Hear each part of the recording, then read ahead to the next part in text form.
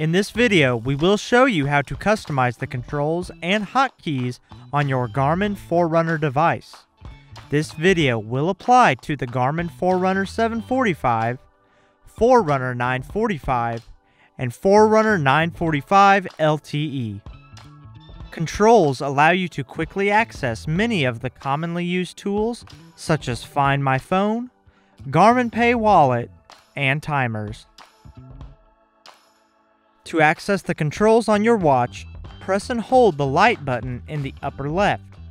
Here, you can see the default controls options.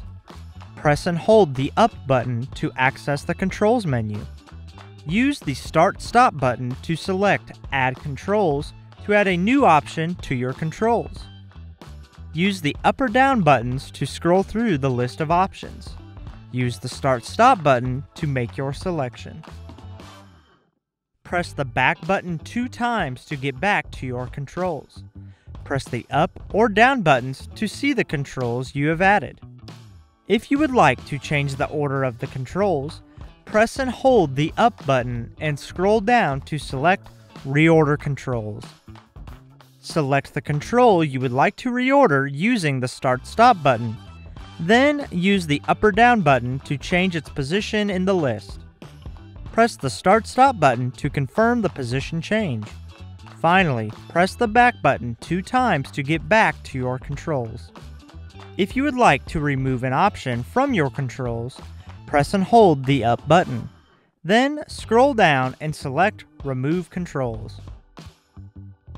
Use the up or down buttons to scroll through the controls and press the Start Stop button to select a control to remove.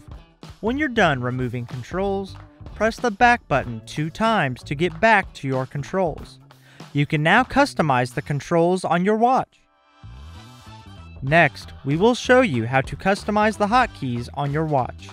From the watch face, press and hold the up button to access the menu. Scroll down and select System. Then scroll down and select Hotkeys. Scroll through the hotkey combinations and select a hotkey to customize. We will be customizing the start plus down hotkey. Then select an option to assign to that hotkey.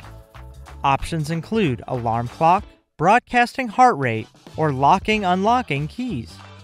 Press the start stop button to make a selection and assign that hotkey.